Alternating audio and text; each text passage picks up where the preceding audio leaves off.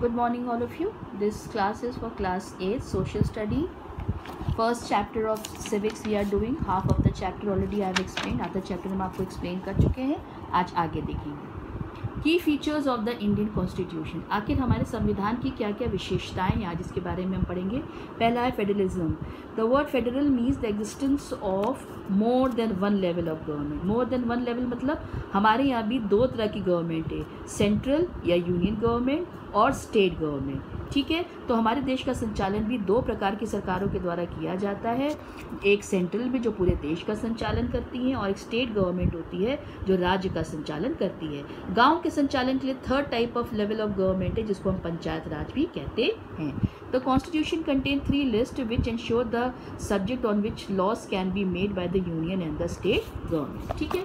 दूसरा है the parliamentary form of government. हमारा जो संविधान है, वो पार्लियामेंट्री फॉर्म ऑफ़ गवर्नमेंट को फॉलो करता है। पार्लियामेंट्री फॉर्म ऑफ़ गवर्नमेंट का मतलब ये होता है कि एक हेड चुना जाता है, दो हेड होते हैं it's in a parliamentary form of government a distinction is made between the head of the state and head of the government the president is the head of the state राज्यों के जो ऊपर head होता है, वो कौन होता है? प्रेजिडेंट होता है। और जो प्राइम मिनिस्टर होता है he is the head of the government ठीक है जो देश का संचालन करता है। सही मायने में अगर देखा जाए तो जो प्राइम मिनिस्टर ही हैं वही हमारे देश के सर्वोच्च नेता होते हैं और वही हमारे देश का एडमिनिस्ट्रेशन करते हैं। और उनके पास एक काउंसिल ऑफ़ मिनिस्टर्स या होते हैं या मंत्री होते हैं जो उनको सलाह मशवरा दिया करते हैं। ठीक है? फिर separation of parts separation of parts मतलब हमारे संविधान में आ, हर स्टेट को आ, तीन भागों में बांटा गया है। तीन ऑर्गन्स हैं legislature executive and the judiciary legislature का क्या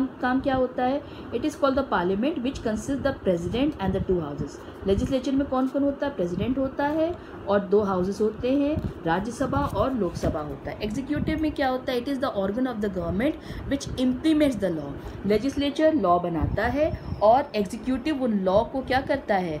उनको इम्प्लीमेंट या उनको लागू करवाता है। और तीसरा होता है जुडिशरी जिसका काम होता है कि अगर कोई तरह का गड़बड़ी हो या कोई कोई कानून को तोड़े तो उसको देखने की ज़िम्मेदारी जुडिशियल या न्याय, न्यायपालिका की होती है। The constitution